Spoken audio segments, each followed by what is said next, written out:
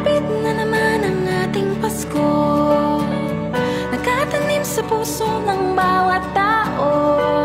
Ang pagbibigayan at pagmamahalan Na naghahari sa puso ng lahat.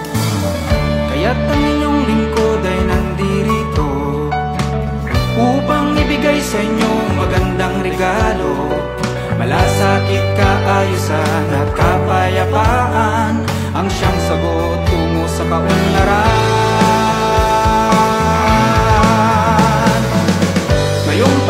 kami nagsama-sama Para sa isang hangarin na paglingkuran ka.